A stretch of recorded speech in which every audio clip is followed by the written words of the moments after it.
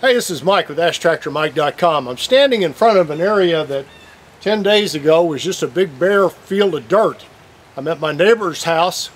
They had some work done on the water lines that run from their well to the house. They had to dig them up, put in new water lines, and then cover them back up. And my neighbor Wes and his wife Julie are they're really good friends of ours. And they were going to call somebody to come in and put this area in back in in lawn. And I said, Wes, if you'll let me do it, I'll assist you. If you'll get uh, the seed and some straw bales, I'll bring the tractor over and a rock rake. I've always wanted to try this to see if it would work, but I've got an opinion about how I think you could get a really nice stand of grass put in just using the tractor and a rock rake. And so we decided to do this, and that was a little less than 10 days ago. And if you look behind me, we've got a really nice stand of grass. So I want to go through the steps that we went through to do this. Now, first off, this is a cool season grass. It's November, and, and it, it's really good grass growing weather right now. Today it's coming a light sprinkle, and so the time of year you want to put cool season grasses in, I think, the only time I've had experience is in the fall. And in the fall, the grass gets up and gets really established. It, it doesn't mind this cool weather, and, and there's no weeds to compete with it. If you plant in the spring, you have to you have to compete with weeds that come up all summer long and you end up with a really weak stand of grass that may not even last. So what we did here, first off, we had a big trench.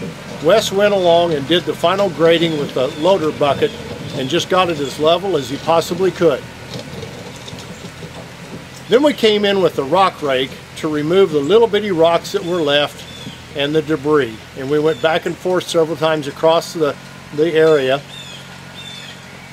and we picked up the rocks and there were some roots and different things like that to make it as smooth as possible so when Wes runs over it with the lawnmower he's not going to throw a bunch of objects through his windows and, and through his shop.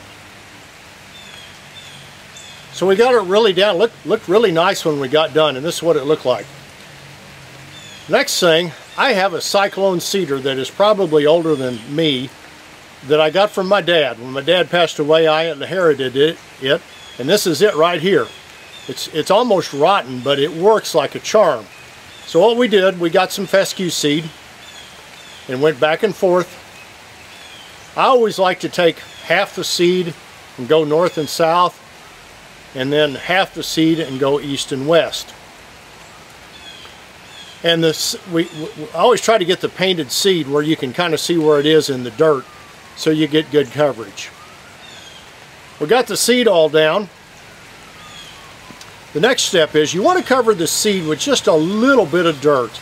I've always heard that a seed likes to be covered with half the width of the seed with dirt on top of it and that's not very much dirt. When you're sowing grass seed those seeds are so small you just want like a little more than dust on top of it. So what we did we turned the rock rake around backwards and just backed over the area to just kind of rough up the dirt a little bit and get just a little bit of coverage on the seed.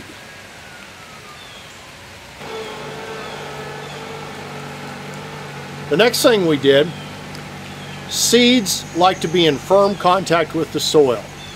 And a lot of people like to fluff up the dirt and put the seeds in and then leave it really loose. But the seed needs to be in solid contact with the dirt. And so what we did, we ran the tractor over this area back and forth just one time, just enough to put the seed in firm contact with the soil.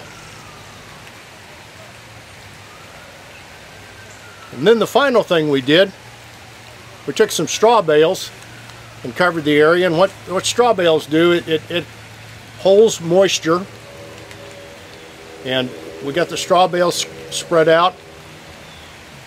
I've tried seeding in the fall before without using straw bales and have very poor results. So I think the straw bales are a necessity.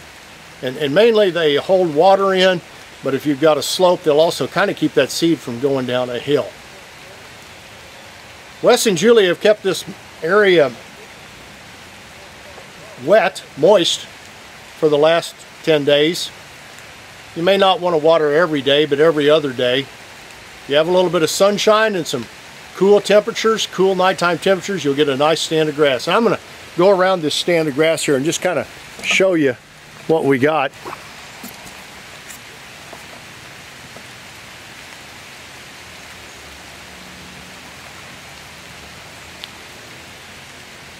There's a few bare spots that'll need to be overseeded, but by and large, got a really nice stand of grass.